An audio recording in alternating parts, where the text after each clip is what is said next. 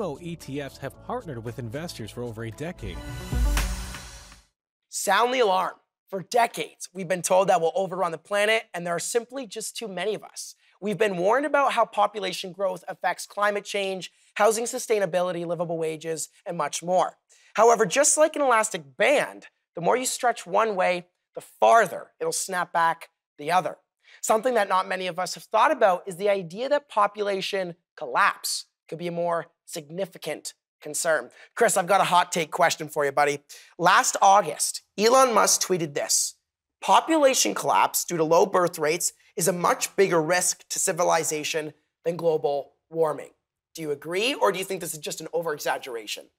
No, I agree. I think it's simple mathematics when you really look at the death rates that we can expect in the coming years and the birth rates and where they're at right now. So we can see obviously a bunch of people leaving the workplace and, and passing away, and then no one really coming up to fuel it. So it's obviously going to be a laggard. We're not going to see it in real time happen, but it's it's something that we have to look 20, 30 years kind of down the road to really see the repercussions of our, our actions today and even yesterday.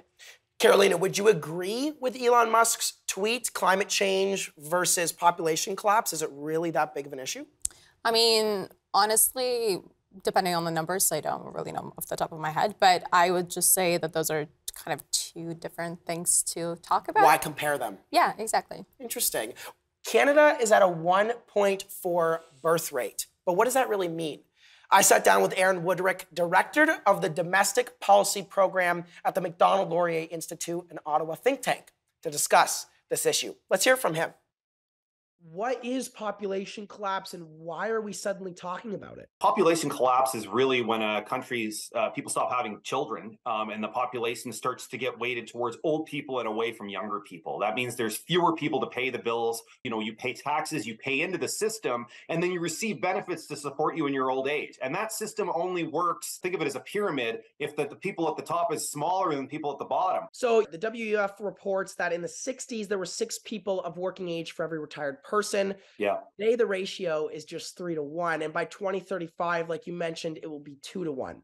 Mm-hmm. What mm-hmm. impact will this specifically have on my generation and should my generation actually be concerned your generation should be very concerned i mean the first most obvious impact will be on your tax rates if people before could pay taxes at 20 or 30 percent well now there's fewer of you. They're going to start upping your taxes. You're going to start paying 40 50 it's not unthinkable to think a majority of every dollar you earn is going to have to go to the government. I'm curious why we are talking about it now. Why not 10 years ago? Why not 20 years ago? I think part of the problem is politics. A lot of it is about what's tomorrow and next year, and long term planning is very rare.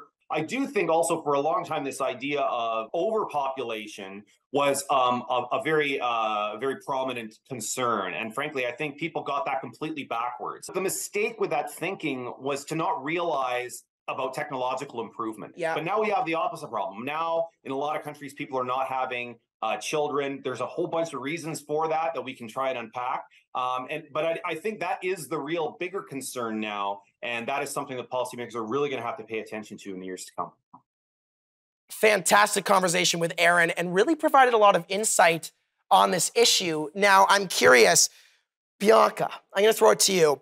Do you agree or disagree with Aaron's points here? I mean, is population collapse really that big of an issue? I think it's a big issue, but I don't know if it's such a big issue for what he's saying, right? So, um, I am very pro babies. We should be we should have we should be making more babies. um, but when it comes to the future, maybe our generation might suffer in terms of that three to one uh, number that he was throwing out, but we also didn't take into consideration how few, how many fewer jobs human beings will have to be doing uh, in the future compared to now, right? So we might need more people to work. That's true, but in regards to AI and all these different jobs that are being taken over by these different technological advances that we have, um, I, I, don't know if using taxes would scare me into uh, having babies versus uh, the other economical Interesting. issues. Like technology plays, and I've heard this argument a few times doing research on this topic that technology plays a serious role mm-hmm. in the idea of population collapse, not necessarily being a big thing. Now, I gotta be curious here. Like, Chris, have you actually seen population collapse or the idea of it affect you in your day to day life? Not at this point, but I think as he, uh, Aaron was saying, it's kind of like a laggard. We're not necessarily in it right now, especially not in Canada with immigration, some of the things we have uh, compensating for our declining population. So I think day to day, I haven't experienced Hold that it. thought. We'll be right back.